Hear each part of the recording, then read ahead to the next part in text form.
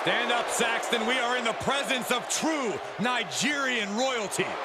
Or obnoxious royalty. The following contest is scheduled for one fall. Making his way to the ring from Benue State, Nigeria, weighing in at 241 pounds, Apollo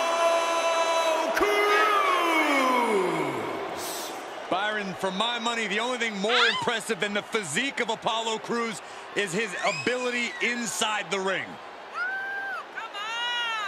Without a question, for years we talked about the potential of Apollo Crews, but now Crews realizing that potential here in WWE. The change in attitude has earned him both the Intercontinental and United States Championships.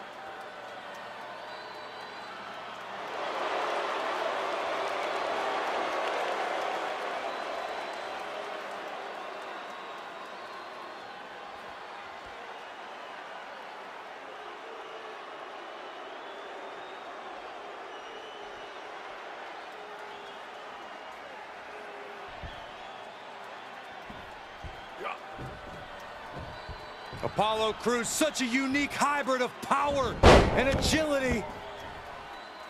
Picture perfect move. And now Crews goes up to the top rope.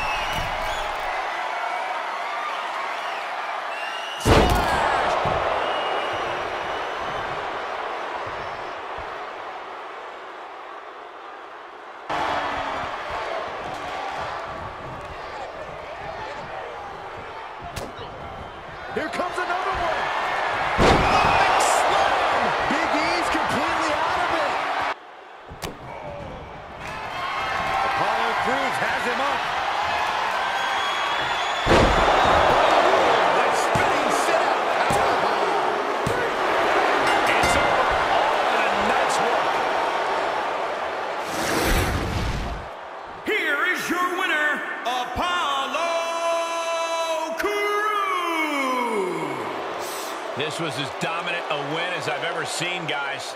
That's why they call it light work, Cole. Barely even broke a sweat.